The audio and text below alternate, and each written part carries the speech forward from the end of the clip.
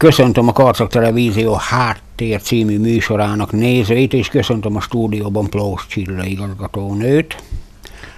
Én is nagyon sok szeretettel köszöntöm a Karcak Televízió valamennyi nézőit akit abból az apropóból kértünk meg egy beszélgetésre, hogy ugyan már régebben volt az esemény, de érdemes rá visszatérni, mégpedig a zeneiskolának, tehát a zenészeknek a tanévzáró műsorára. Magam a hírmondó részére voltam jelen, és hát ott megfigyelhető volt, hogy ilyenkor mindig a, a versenyeken nagyon jól szereplő tanulók adnak elő egy-egy zeneszámot, és hát nagyon sok ilyen tanuló volt igazgatónő, kérem, akkor ezek szerint nagyon sok versenyen, nagyon sok tanuló, nagyon szépen szerepelt az idén, illetve hogy az elmúlt tanévben. Igen, ezt nagyon szépen összegezte. Június közepén 15-én tartottuk a hagyományos tanévzáró ünnepélyünket, ami nálunk mindig úgy zajlik, hogy a, a versenyen résztvevő növendékek, illetve ott elért eredményt elérő növendékek hangversenyt adnak, illetve akik tovább tanulnak. Számos verseny volt az idei tanévben. Rögtön az év elejét országos trombita versennyel kezdtük, ahol egy növendékünk indult, ez Zalaegerszegen került megrendezésre. Aztán folytatódott a versenyek sora a szolfés versenyen, amely megyei, megyei szintű volt mezőtúron. Az új évben zongora versenyre, mérészfúvós versenyre, cselló versenyre került sor az ország több városában. Ezekre a versenyekre is voltak induló növendékeink, és hál' Istennek, és nagy-nagy örömünkre minden versenyről szép eredményekkel tért tértek haza növendékeink. Na, ez dicséretes, és gratulálunk hozzá mindenkinek. E, megkérdezhetem, hogy e, idehaza volt-e verseny, mert tetszett mondani néhányat, vagy mondott igazgatóni néhányat, e, ami az ország mindenféle részén volt. Idehaza van-e verseny? Igen, azt nem soroltam föl, de most külön beszélek róla. Minden második évben itt Karcagon rendezzük meg a megyei részfúvós verseny. Az elmúlt tanévben került erre sor. Itt a megye 10 művészeti iskolájából neveztek növendékek. Nagyon szép szám van, hiszen 76 versenyző volt, és ez azért rekordnak számít a lebonyolításával is ugye akadt feladat jócskán az előkészítésével, illetve aznap a, a szép számú versenyző gyermeknek, illetve kísérőtanáraiknak, szüleiknek a megvendégelése. Ez mindig nagy-nagy feladata az iskolának, de a tantestülettel közösen összefogva ezt mindig megoldjuk. És sikere van a versenynek, tehát akik ide jönnek, azok elégedettek a szervezéssel és, és az itt töltött idővel is. És hát 15 15x2, akkor ez némi jubilá, jubiláris hangulatot is eredményezett, gondolom én. Így van, tehát ugye minden második évben kerül megrendezésre. Ha így számoljuk, akkor ez a verseny már 30 éve él. Ez egy jubileum, és igyekeztünk ezt valamilyen módon emlékezetessé is tenni. Így került sor arra, hogy a résztvevő iskolák az emléklapjuk mellé egy gyönyörű emlékplakett projektet is kaptak, amelyet ezúton is szeretnék megköszönni Györfi Sándor városunk szobrászművészének, aki kifejezetten erre az alkalomra tervezett és alkotott egy emlékplakettet, és ez az ő felajánlása is volt a, a versenyre, úgyhogy nagyon szépen köszönjük ezt a gesztust. Hát igen, és ez egy valóban óriási gesztus volt. E, hadd kérdezzem meg, hogy e, rendez még versenyt az iskola, tehát ilyen zenei versenyt van, másik helyi verseny e, Igen, hogy ne minden évben pihenjünk, vagyis ne legyen olyan év, amikor pihenünk. E, az idei évben a megyei e, furúja verseny megrendezésére kerül sor. Én bízom benne, hogy sikerül ezt a versenyt megszervezni. Ugye a páratlan évek versenye a furúja verseny. 2011-ben sajnos nem tudtuk megrendezni a pénzügyi okok miatt, de én bízom benne, hogy most 2013-ban erre sor kerül, és az előző évek hagyományaihoz híven ezt is nagyon szépen meg tudjuk rendezni, és sok-sok résztvevővel. Uh-huh. Ne tessék megharagudni, de most egy kis anyagi vetületet szeretnék belevinni, ugyanis közben gondolkoztam, hogy tetszett mondani, vagy mondta igazgatónő, hogy, hogy az ország minden táján, stb. hát oda el kell utazni, és hát manapság ez azért már nem olcsó móka és mulatság, a két rengeteg vendég, kit-kit vendégül látni, stb. stb. stb. azért illően fogadni, lebonyolítani és egyebek. Egyedül vannak erre saját költségvetésből, vagy esetleg Ugye felsoroltam a versenyeket, de a kulisszatitkokat azt nem ismertettem, akkor most néhányat elárulnék. Ezekre a versenyekre ugye nevezési díjak vannak. A gyerekeknek nevezési díjat kell fizetni, és a résztvevőknek pedig részvételi díjat. Sajnos a, a költségvetésünk ilyen tekintetben igencsak szűkös, nagyon szűkös keretek közé van szafva, de még mindig meg tudtuk azt oldani, hogy a hozzánk járó növendékeknek nem kell fizetniük ahhoz, hogy erre, ezekre a versenyekre eljussanak. Ebben nagyon nagy segítségünkre vannak a szülők. Egyrészt azzal, hogy eljárnak a hangversenyre, megvásárolják a belépőjegyeket, és mi ezeknek a ez ezekből befolyt összeget a versenyek nevezési díjára, a úti költség térítésére, szállás fizetésére használjuk föl, illetve vannak más támogatóink is. Itt szeretnénk megemlíteni az egyik fő támogatónkat, az Agribrands Hungary ZRT, aki az idén is egy jelentősebb összeggel támogatta az intézményt, amely teljes mértékben a versenyekre való eljutásra kerül, tehát ebből tudtuk finanszírozni például, hogy a Kisvárdai regionális csellóversenyre 13 növendék kísérő tanárral és szülőkkel együtt külön busszal el tudott utazni, hiszen itt a hangszereknek a szállítása is komoly logisztikai probléma, mert nem könnyű akár 13 gyerekkel plusz 13 csellóval, akár egy vonatra, akár egy személyautóba beülni és úgy eljutni a versenyekre. Tehát ezeknek a versenyeknek a, a finanszírozását nagy mértékben külső támogatásokból szülői segítséggel oldjuk meg, és itt szeretnék azoknak köszönetet mondani, akik ebben mindig jelesen élen állnak és hát gondolom nem is rövid idő óta. Verseny, verseny hátán szép lassan zajlott az év, de önök idehaza is fellépnek, a saját magam tudom, hogy rendkívül sokat hallani önökre. Tehát megyünk fényképezni, általában mindig van néhány zeneiskolás, tanárok, diákok. Hány itthoni fellépésük volt? Meg lehet ezt mondani, vajon? Hú, nem számoltam össze, de ugye amikor az év végén számvetést készít az ember, és én is ezt szoktam, és igyekszem papírra vetni, hogy egy, egy tanévben mit csináltunk, illetve milyen szerepléseken vettünk részt. Erről külön lista van, de megmondom őszintén számszerűsíteni nem számszerűsítettem. Elég csak annyit mondani, hogy Karcagon a rendezvények, a megmozdulások szerintem 90 százalékán a a zeneiskola, a művészeti iskola növendéke is szerepelnek valamilyen produkcióval a saját rendezvényeinken kívül. Tehát civil szervezetek, társ intézmények rendezvényein mindig ott vagyunk. De ez, ez sok tucat, tehát kifejezetten nagy számról van, van szó. A saját rendezvénynél nagyobbak, ők hányan vannak? A, most a versenyeket nem, nem számítva. Vannak hagyományos rendezvényeink, amelyeket minden évben igyekszünk megtartani, és ebből nem engedünk, sőt, ezeknek a, a, a sorát mindig igyekszünk növelni is. Hát csak említés szintjén szeretném megemlíteni a zenei világnapi hangversenyünk az nem maradhat el, az RKL névadós hangversenyünk az mindig megrendezésre kerül novemberben, aztán a hagyományos karácsonyi hangversenyünk,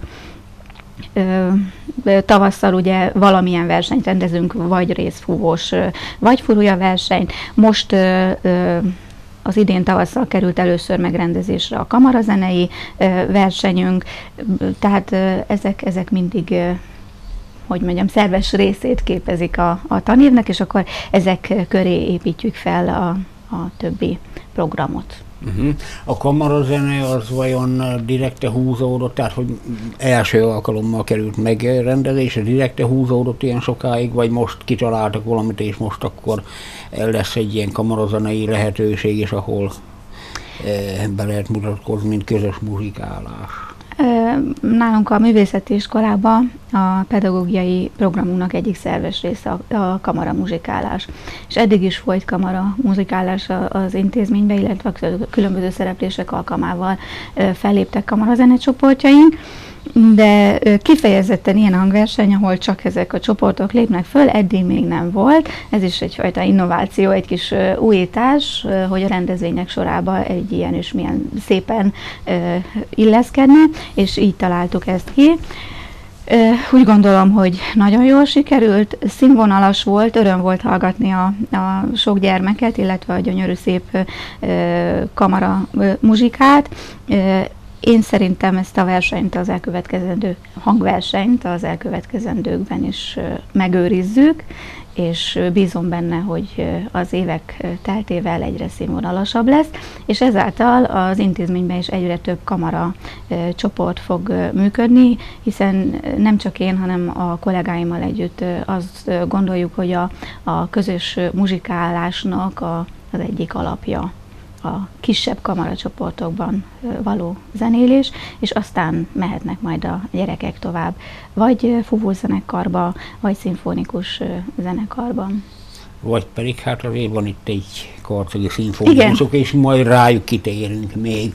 E, évzáró volt, és hát most már áttekintettük a rendezvényeket. E, hogyan vizsgáztak itthon a nebulók, tehát e, kik azok, akik zenei pályára mentek tovább, kik azok, akik ezt a hivatást választották maguknak. Vannak -e ilyenek? Igen. És hát? Ugye nálunk a vizsgáztatás idézőjelben nem vizsgálnak nevezzük, hanem meghallgatásnak. Volt szerencsém a tanév végén az intézmény összes növendékét meghallgatni a vizsgák, illetve a záró hangversenyek alkalmával, és elmondhatom és büszke is vagyok rá, hogy sok-sok tehetséges növendékünk van, és minden évben akarnak olyanok, akik eh, művészeti pályán folytatják tovább tanulmányaikat. Most a magánének eh, tanszakról két növendék a Debreceni Adi Endre gimnáziumban tanul tovább, a gimnáziumnak a drámaszakán, hiszen nálunk a magánének tanszakon nem csak az éneklés mesterségének az elsajátítatása folyik, hanem, hanem az előadói képességet is. Igen, az előadói képességet, a színpadi mozgást is gyakoroltatja a kolléganő a gyerekekkel, és így Erdei Fruzsina és Rusói Fanni az idén az Adi gimnáziumban folytatják tanulmányaikat. Volt ott egy harmadik kislány is, akinek tetszett tud gratulálni, hogyha jól emlékszem. Igen, igen, mert tanévzáró alkalmával elbúcsúztatom ezeket a növendékeket. Szentesi Katalin, ő a képzőművészet tanszakunk növendéke, ő pedig a Nyíregyházi művészeti, képzőművészeti gimnáziumban folytatja tovább a tanulmányait. Eh, azért jó, hogy előkerült a képzőművészeti eh, fakultáció, vagy az iskolának ez a szakja, és ők vajon hogyan látták, önállók mik voltak a leg, leg, leges, legfontosabb események a képzőművészetiseknél? Eh, elmondhatom, hogy kezd beírni a képzőművészet tanszakunk, hiszen az ugye később csatlakozott a, az iskola oktatási palettájába, egyre több növendékünk van ott, és aki, aki tehetséges, és, és ezt a művészeti pályát választja magának célul, és megy tovább ilyen iskolákba, ilyen irányú iskolákba. Ők az év közben különböző pályázatokon vesznek részt, itt a helyi rajzpályázatokon, illetve megyei országos pályázatokon, és ott is most évvégén, ahogy gyűjtöttem össze az eredményeket, igen szép számú eredmény gyűlt össze, és első, második, harmadik helyezéssel külön díjjal tértek vissza, ez nagyon dicséretes dolog, és a tanév végén immár harmadik alkalommal rendeztük meg a, az évvégi képzőművészet kiállítást, most a Dériné Kulturális Központban, az előző két évben a Művészeti Iskola Erkel termében került ez megrendezésre, Itt ezen a kiállításon a képzőművészet tanszakalkotásai kerülnek a, a palettákra, és itt a, a szülők, érdeklődők egy héten keresztül megtekinthetik ezt. Ez volt a legnagyobb rendezvénye a képzőművészet tanszaknak. Nagyon szeretik a gyerekek is, ezt illetve a szülők is, mert az egész éves munka eredményét itt megcsodálhatják és hát 8 év eredménye pedig a végzősök tudása. Hányan végeztek úgy a zenében, mint a képzőművészetében? Most az iskola létszáma közel 200 fő, ebből ö, körülbelül 30 fő a képzőművészet, ö, tanszakos, a zenei tanszakos pedig körülbelül 170 fő körül van. Uh-huh. Már volt egy turnus a felvételnek, hogyha jól emlékszem, közvetlenül az, az árás előtt, és még majd a szeptemberben. Az első részben hogy sikerült a felvételi? Tehát, ahogy mondta, és két tónusban tartjuk a beiskolázásunkat május, illetve június elején. A várthoz képest jó eredmények születtek, tehát egészen szép számban kerestek föl minket, és iratkoztak be a művészeti iskolába kis felvételi meghallgatás után, de mindig szeptember elején is szoktunk tartani egy beiskolázást, mert nagyon sok gyerek, szülő még a nyár folyamán, illetve szeptember elején dönt arról, hogy ő mégiscsak szeretne valamilyen hangszeren tanulni, vagy a, a művészeti iskolába járni. Tehát aki még vár vele, akkor az még szeptember, tehát ő még szeptemberben megteheti a Szeptember elején még van lehetőség a művészeti iskolába való felvételére, illetve beiskolázásra, illetve közösen a, a város iskoláival hangszerbemutató kis foglalkozást is fogunk tartani, ahol nagyon sok szeretettel várjuk a, az általános iskolás korosztályt, hogy megismerkedjenek a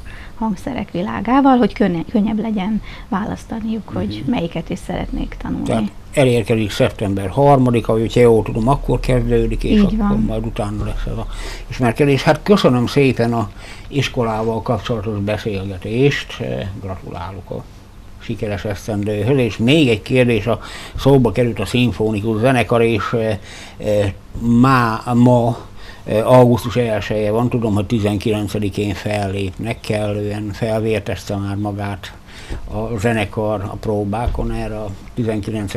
fellépésre? Igen, a, a tervek szerint úgy volt, hogy augusztus 19-én Törő Erzsébet udvarán lesz egy udvari muzsika. Törő Erzsébetről tudni kell, hogy annak idején a zenekar egyik kitalálója, illetve alapító tagja volt, és ő várt volna minket szeretettel 19-ére, de ugye nyár van, és emberek vagyunk a zenekar tagjainak elfoglaltsága miatt. Sajnos most nem kerül sor erre a, a hangversenyre, de akik szeretik és kedvelik a szimfonikus zenekart, illetve a produkcióikat, egy jó hírrel szolgálhatok szeptember 8-án lesz Karcagon a Kulok világtalálkozójának nyitó rendezvénye, és ezen a nyitó rendezvényen ennek az estéjén, este 6 órakor a Dériné Kulturális Központban a Szimfonikus Zenekar koncertet ad, úgyhogy akkora várjuk a kedves közönséget, illetve mindenki bevésheti a naptárába, és készülhet a nagy eseményre, hiszen nem árulok el titkot, ha azt mondom, hogy a szimfonikus zenekar, és ez egy szép kerek szám is, és hosszú idő is, hogyha, hogyha visszagondolunk rá, 20 éves évfordulóját ünnepli az idén. Tehát 20 évvel ezelőtt alakultunk, ilyenkor, amikor visszagondolok, eszembe jut az első próba a, a zeneiskola nagytermébe, mikor heten vagy nyolcan voltunk, alapító tagok, és abból fejlődött ki a, a szimfonikus zenekar, tehát 20 év az, az nagy idő, de olyan, mintha most lett volna tegnap. Tehát december 8-án kerül megrendezésre a szimfonikus zenekar évfordulós hangversenye, amely a a 20 évet ünnepli meg. És erre, hát. erre nagyon készülünk, és bízom, benne, hogy, hogy sikerül is megrendeznünk. Igazán szép jubileum, gratulálunk hozzá, és hát jó munkát a felkészüléshez, és megköszönöm a beszélgetést. Köszönöm szépen. Én is nagyon szépen köszönöm, viszontlátásra. Köszönöm nézőink figyelmét, a háttér búcsúzik. Minden jót kívánok!